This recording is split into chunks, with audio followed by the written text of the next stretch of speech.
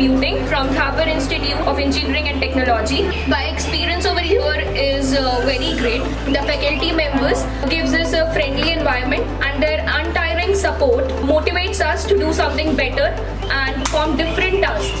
The main reason why I joined Thapar Institute was uh, apart from mathematics in MSc, enjoy computing also. It comes in the top ranking, motivates me to come over here. The major reason why I joined Thapar is uh, they provides us uh, with different internships and placement.